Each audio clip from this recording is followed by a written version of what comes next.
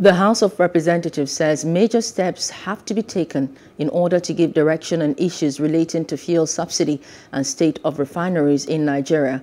House Speaker Femi Gbajabiamila, at the commencement of plenary Wednesday, set up two ad hoc committees. They are to conduct investigations on the matters. The two committees are mandated to separately determine daily consumption of petrol in Nigeria and the current state of the refineries.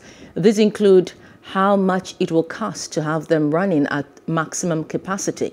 The two committees are to engage widely with all stakeholders, such as labor unions, experts, and operators in the sector. The committees have two weeks, four weeks, to conclude the assignment.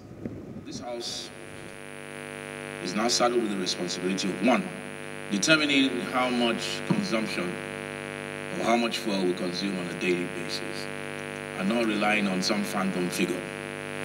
It's going to be painstaking and it's going to be thorough.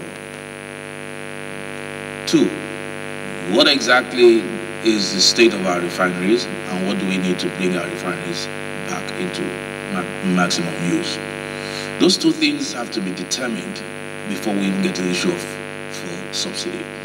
Uh, so I will set up a very tight ad hoc committee of 12 members for each of those two uh, one committee uh, on the issue of how much we consume will be headed by Honorable um, Ablai Ningi. And on the issue of the state of the refineries, um, Engineer Johnson uh, will chair that. The rest of the members of that committee will be announced uh, before the close of business today.